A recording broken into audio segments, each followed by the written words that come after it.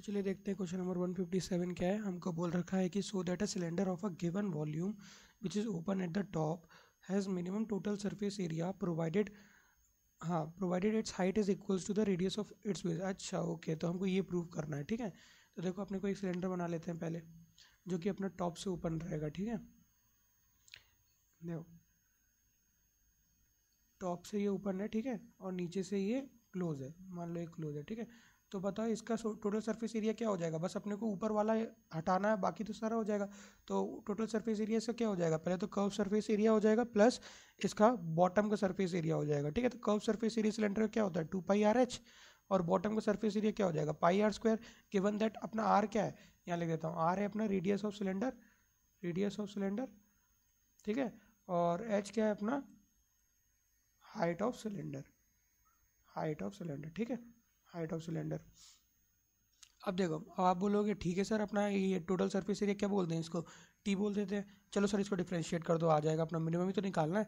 नहीं नहीं, देखो, ये चीज़ें मत बोला करो। देखो, यहाँ पे दो वेरिएबल है, ठीक है? तो कोशिश करते हैं किसी एक वेरिएबल को निगलेक्ट करने की। तो कैसे करेंगे सर? कुछ और गिवन है क्या अपने को? हाँ देखो गिवन अपने को बोल रखा है कि इसका वॉल्यूम कॉन्स्टेंट है गिवन वॉल्यूम तो बताओ वॉल्यूम क्या हो जाएगा? यहाँ पे लिखते हैं, अपना वॉल्यूम हो जाएगा पाई आर स्क्वायर एच ठीक है? अब वी कांस्टेंट है तो बताओ एच की वैल्यू क्या आ जाएगी? V by pi R square आ जाएगा। ठीक है? अब इसमें पुट कर देते हैं एच की वैल्यू देखो कितना हो जाएगा? Two pi R into V upon pi R square देखो पाई से पाई कट गया आर से आर कट जाएगा प्लस पाई आर स्क्वायर हो जाएगा। ठीक है? और देखो यहाँ क्या आ जाएगा? यहाँ आ जाएगा टू वी अपॉन आर आ जाएगा और यहाँ आ जाएगा अपना पाई आर स्क्वायर ये हो गया अपना टोटल सरफेस एरिया अब बात करें टी डैश की, देखो कितना आ जाएगा?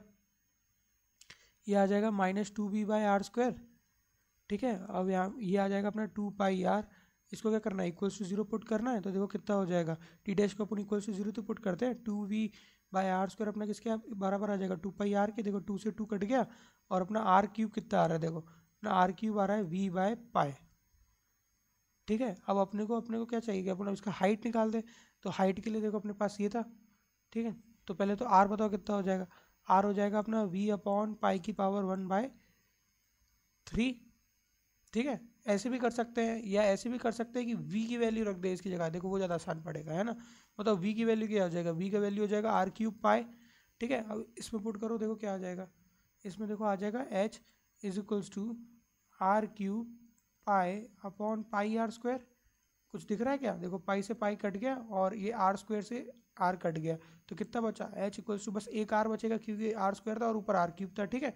तो एच इक्वल्स टू आर आ गया और यही कहीं देखो हमको प्रूफ तो करना था, ठीक है? यही हमको प्रूफ करना था और ये आ गया अपना आंसर और ये हो गया अपना हैंड्स प्रूव्ड